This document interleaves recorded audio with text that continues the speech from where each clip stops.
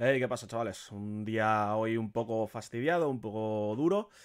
Y es básicamente porque os tengo que pedir perdón y tengo que pedir perdón a varias personas. Veréis, yo hace poco hice un vídeo que, se, que trataba sobre la manipulación de mercado en Wallapop. Ese vídeo, pues bueno, no tuvo muchas visualizaciones, pero bueno, llegó a bastante, bastante gente y demás. Eh, ese vídeo era, la información que había dentro de ese vídeo era falsa.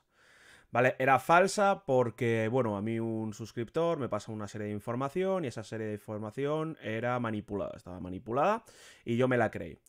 Debido a ello, acusé a Jorge, que tenéis aquí el perfil de Wallapop, y de manipular el mercado y demás. Y me diréis, Goli, ¿pero qué pasa? ¿No contrastas esta información? Pues en este caso no lo contraste. evidentemente es un error total absolutamente mío, me equivoqué, debí de contrastar absolutamente todo y no lo hice. Entonces, debido a ello, pues ahora toca la de pedir perdón. Eh, os pido perdón a vosotros por, faltar a la verdad.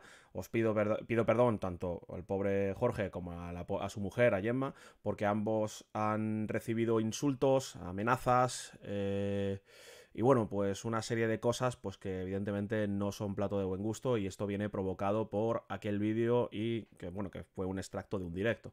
Entonces, evidentemente yo no estoy cómodo con ello por motivos más que obvios.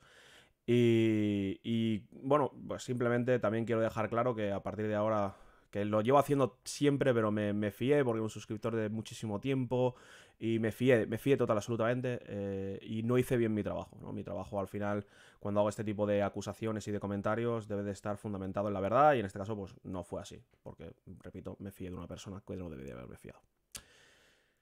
Y ya está.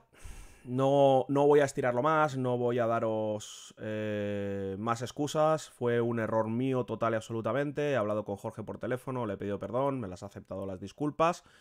Y quiero haceros a vosotros conocedores pues, de toda esta información y de, y de toda esta situación. Eh, sin más, besito. Nos vemos el domingo.